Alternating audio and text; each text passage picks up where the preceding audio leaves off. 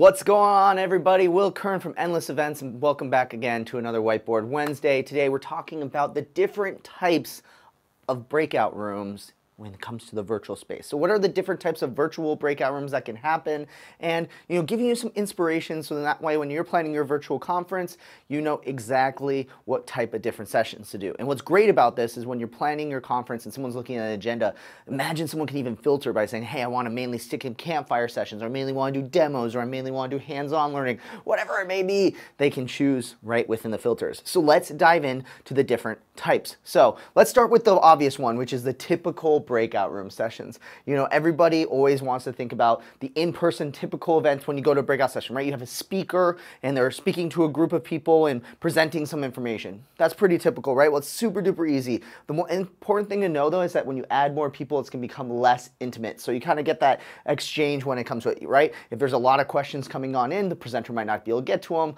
all that sort of stuff. The other thing as well is that you primarily with these breakout room, these uh, virtual breakout rooms, people are going to be interacting primarily through the Q&A and the chat and polling when it comes to these as well, versus, you know, maybe other interactions like talking to each other and everything like that. Well, if you're interested in hearing more about people talking to each other, that's when we go into the breakout, or not the breakout, but the campfire sessions when it comes to uh, a virtual breakout room. So these are more smaller, intimate conversations between people, you know, exchanging ideas, um, sharing experiences, whatever that may be. And sometimes sometimes too you can have multiple camp outs, campfire sessions almost inside of a, a larger campfire session as well. Um, and these are really best for those small, again, intimate conversations.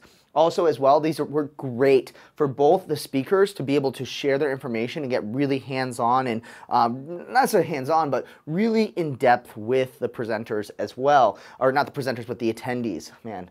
Um, and then also as well, these are great for sponsors. You know, imagine a sponsor being able to have a captive small audience to talk about either their product or their experience and share those sort of things as well. Um, so check out those campfire sessions. They're really, really great for your breakout rooms. All right, then let's move on to, again, back to kind kind of away from communication and talking to each other to education. And let's talk about workshops, right? This is kind of like your hands-on learning educational experience, right? It's very experiential. Imagine like learning how to paint or learning how to, um, you know, build this, you know, thing or whatever it may be, right? And uh, very, very hands-on and allows people to really um, learn by doing as well. So, you know, maybe for example, with the typical breakout sessions, that's for your auditory and visual learners. This is for your people who learn by uh, doing, right? And this might be more by people learning by talking and exploring ideas together.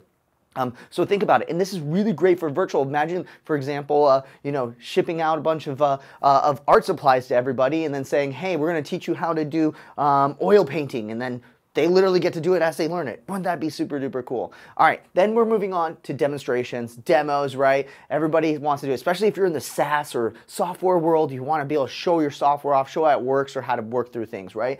These are super duper educational as well. Also, these are really great for sponsors who want to show off a product as well. So for example, um, let's say you're, for example, a marketing software company for, uh, and you're trying to show how can you use your marketing software to generate five times leads uh, in the next quarter or whatever it may be man, this would be really, really cool to show off, especially for existing customers too, because then the existing customers can learn tactical ways to expand their knowledge utilizing your software as well. So there's a couple different ways to be able to do breakout sessions in virtual. Um, but before we, we, we, we, end that one, right, and there's, uh, there's so many more ways this can all go, let's talk about some tips for success when it comes to virtual breakout rooms versus an in-person experience. First thing, you need to make sure that you have a moderator or an assistant for each room. And I know that sounds might seem excessive. And uh, for a lot of uh, uh, other conferences in person, we'd just be like, hey, here's the room, go do your thing, you're good to go. Maybe we had someone introduce you really quick and then you were done. We want to make sure that we have one person in every room. Why is that important? A, they do a couple things.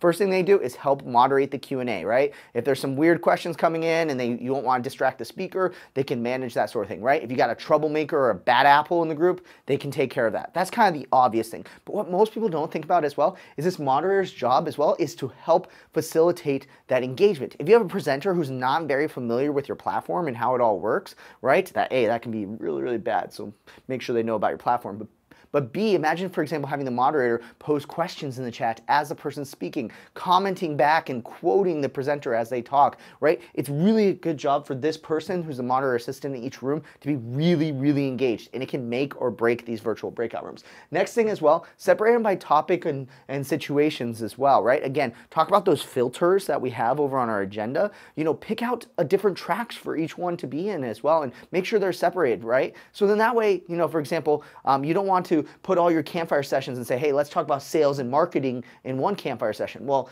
it probably should be better that it's we have a campfire session for sales, campfire session for marketing, all that sort of stuff as well. Next thing as well, and this is the one that I think a lot of people struggle with right now, you got to keep them small. Before, we couldn't do a lot of small breakout rooms, right? Because you imagine if you wanted to have, you know, 400 four person breakout rooms in a, in a conference, you'd have to have 400 rooms to do that. Well, spinning up each of these rooms can be pretty easy, other than you know needing a, a moderator slash assistant in each room. But keeping them small allows people to really interact with each other and keep it intimate and create the experience that you weren't getting before. And especially when it comes to these typical breakout rooms, people are like, hey, let's do a 400 person breakout room. Sometimes when you're in a larger room and you don't really have a voice and there, there's too much going on, you kind of get lost in the shuffle. And it feels more like a TV broadcast where they're just talking at at you rather than you participating and engaging, right?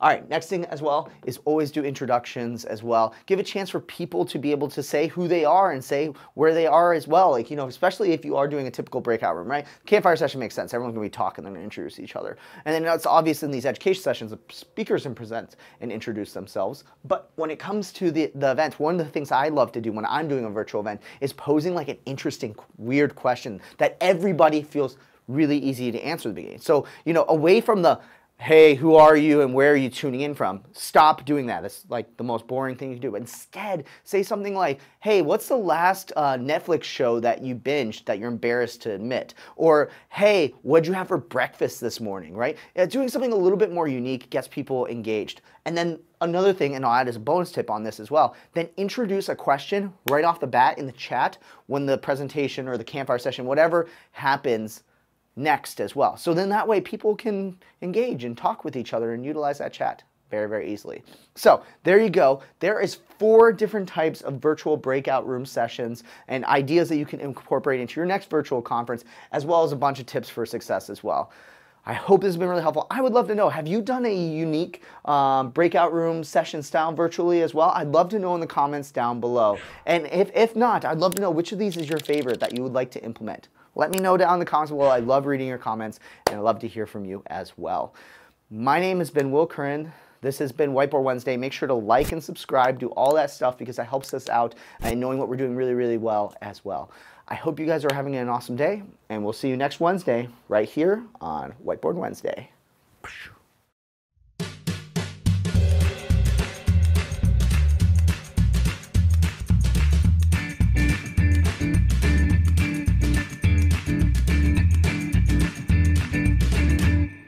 Hi there. Welcome to another Whiteboard Wednesday. I'm Shane, and today I'm going to be talking about video trends.